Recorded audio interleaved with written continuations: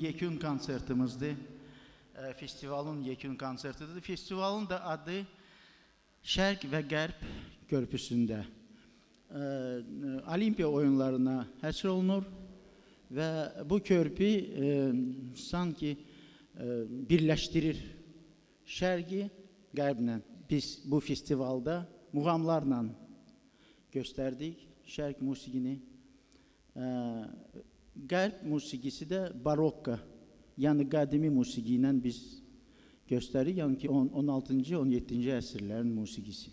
Onu da deyim ki, çox maraqlı e, bu festivalda o idi ki, cürbəcür alətlər, Avropa alətləri, skripka, violonçel, nəfəs alətləri e, və bizim şərq Azərbaycan alətləri tardır, kamançadır, balabandır, qanundur. Onu da deyim ki, e, təşkilatçı Bülbül adına orta ixtisas musiqi məktəbidir. Və burada bu gözəl, möhtəşəm zalda bu gün yekun konsertidir. Çıxış eləyəcək Gənclər Simfonik Orkestri, e, Kamera Orkestri Tutsi, məktəbin xoru və e, Gənclər Simfonik Orkestrindən biraz məlumat vermək istəyirdim sizə. Mstislav Rostropoviç görkəmli violonçel ifaçısı. Onun tərəfindən təklif olunmuşdu və bizim birinci vitse-prezidentimiz Mehriban xanımın təşəbbüsü ilə yaradılıb. İndi isə mən istəyərdim bu səhnəyə musiqi şünas Səmiray xanım Əliyevanı dəvət edeyim. Diqqətinizə görə çox sağ olun.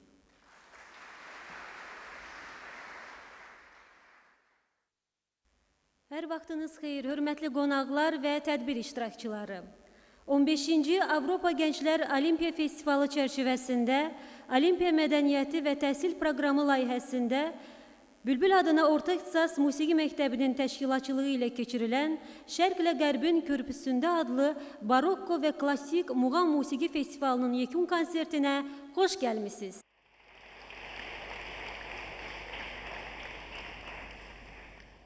Muğam Azərbaycan milli musiqi mədəniyyətinin monumental abidəsi, xalqımızın bədii irsinin ayrılmaz bir hissəsidir. Muğam orta əsr təfəkkür tərzinin şərq mədəniyyətinin məhsuludur.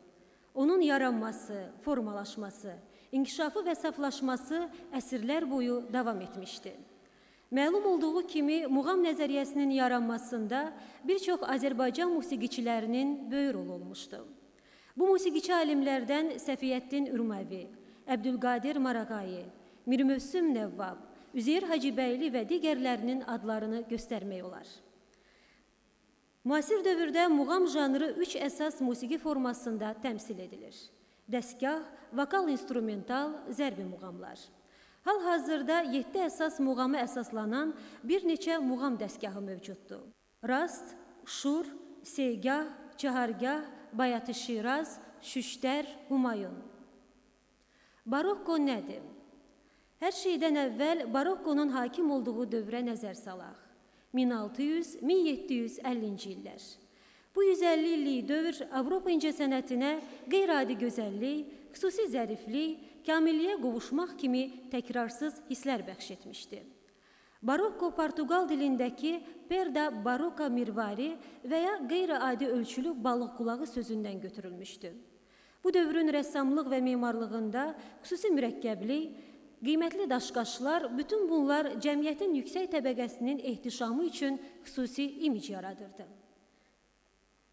Sonralar barokko sözü əhəmiyyətsiz melizmlərlə bəzədilmiş musiqi əsərlərinə də aid edilməyə başladı. Belə hesab edilir ki, bu melizmin yaranmasına səbəb barokko dövründə klavesin alətinin texniki cəhətdən mükəmməl olmaması idi. Bu alətin səsi bəzən bir anlıq pozulurdu. Trel və gruppetto kimi bərbəzəklər davamlı musiqi effekti yaradırdı. Barokkonun meydana çıxmasından 4 əsrdən artıq vaxt keçməsinə baxmayaraq, zaman etibarı ilə bizdən çox uzaqlarda qalmış həmin dövrün yaratdığı incəsənət bu gün də müasirlərimizi özünün qeyri-adi gözəlliyi, kamilliyi, emosionallığı ilə heyran edir. İndi isə siz Şərqlə Qərbin qovuşduğu musiqi alətlərinin ifasında bir gözəl musiqi dinləyəcəksiniz. Səhnəyə dəvət olunurlar. Bülbül adına Orta İxtisas Musiqi Məktəbinin şagirdləri, Respublika və beynəlxalq müsabiqələr laureatları Abbas Əliyev və Vaqif Qurbanov.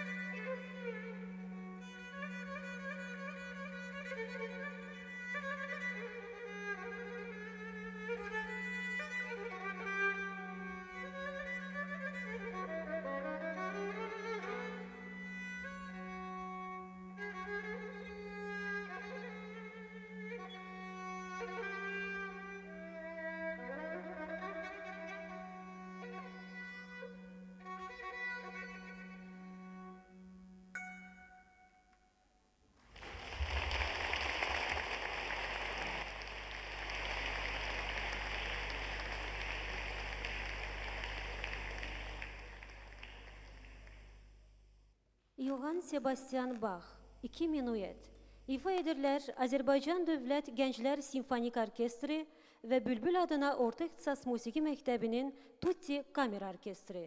Bədii rəhbər və dirijor xalq artisti Teymur Göyçayev. Konsertmeyster Esmira Göyçayeva.